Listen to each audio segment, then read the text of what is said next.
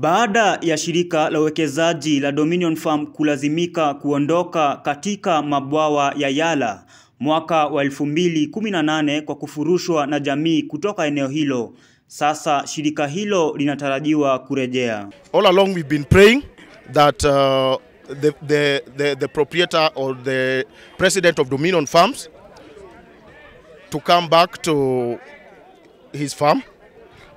Uh, by the look of things, is like he's coming back. That is the information that I have as from today. Sisi tunahitaji aliyekuwa hapa awali ambao ni Calvin Burgess na pamoja na kambi yake ambao ni Dominion arudi. Eh?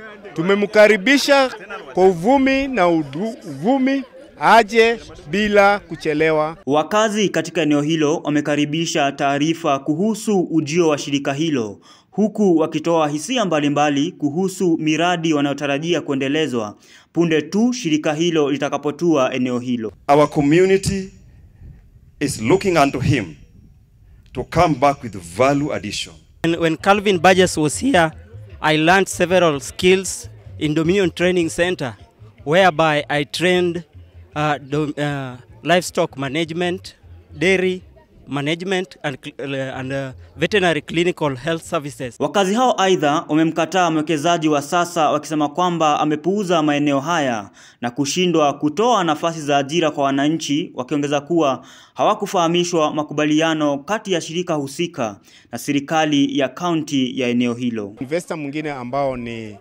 eh, Lake Agro ambao hatukufahamishwa kwa kuja kwake hmm, hata na county government. Hakuna public participation ambayo iliyofanywa.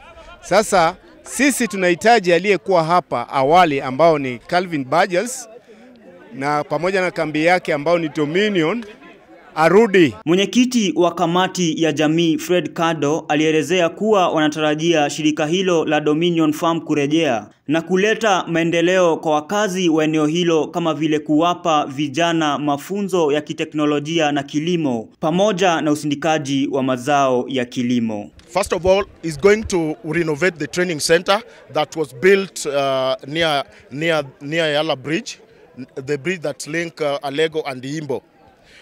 Uh, initially, as per his record, he's saying that uh, the first intake will be close to 100 to 400, 100, 100 to 400 uh, students.